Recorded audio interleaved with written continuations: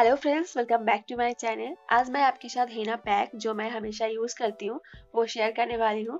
तो सबसे पहले हेना पैक लगाने के लिए हमें चाहिए हेना तो मैंने यहाँ पर लिया है मयूरी हेना आप अपने पसंद का ब्रांड यूज़ कर सकते हो।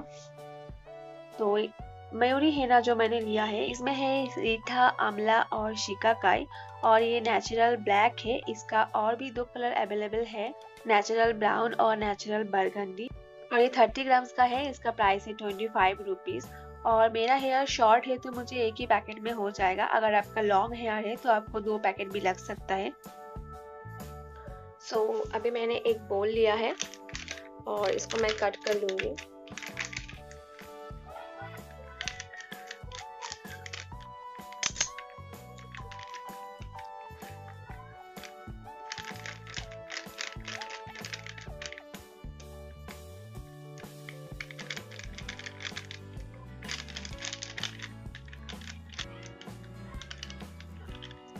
पूरा पैकेट मैंने डाल दिया है अभी।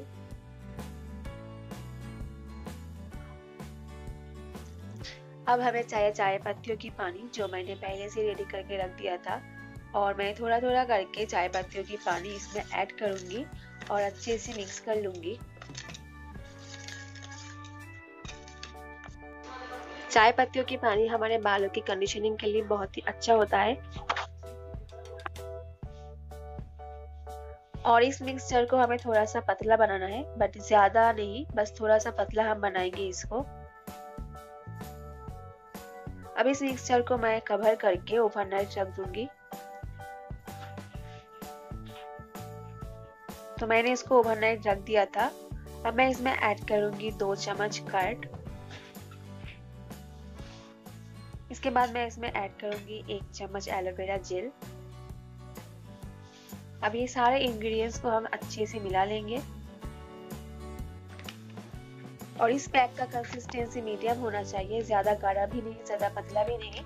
और अगर ये पैक पतला हो जाए तो आप इसमें और एक मेहंदी पाउडर ऐड कर लीजिए।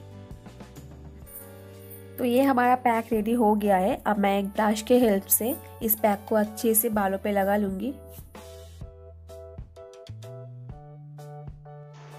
हेना अप्लाई करने के पहले आपको ध्यान रखना कि आपके हेयर बिल्कुल क्लीन रहना चाहिए। अगर क्लीन नहीं है तो आप शैम्पू कर लीजिए, उसके बाद बालों को अच्छे से सुखा लीजिए देन उसके बाद ही आप मेहंदी यूज़ करिए। और ऑयली हेयर पे आप हेना पैक बिल्कुल ना लगाएँ, क्योंकि अगर आपके बाल ऑयली रहेगा तो हेना ठीक से काम नहीं कर पाएगा। तो जब भी आप हेना लगाएँ, अच्छे से बालों को वॉश कर लीजिए शैम्पू से, उसके बाद ही आप हेना पैक लगाएँ। और हेना पैक लगाने के बाद आप इसे मिनिमम 30 टू 45 मिनट रख दीजिए, उससे ज़्यादा भी आप रख सकते हैं। और 30 टू 45 मिनट हो जाने के बाद मैं अच्छे से हेयर को पानी से वॉश कर लूँगी और आज मैं शैम्पू नहीं करूँगी, आज मैं बालों पे तेल लगा लूँगी और नेक्स्ट डे मैं शैम्पू करूँगी।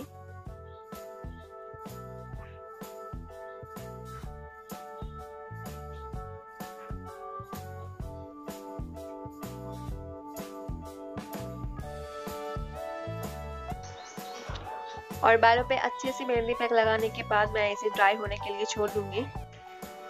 और ये था मेरा आज का वीडियो। अगर वीडियो अच्छा लगा है तो वीडियो को लाइक एंड शेयर ज़रूर करें और मेरे चैनल को सब्सक्राइब करें।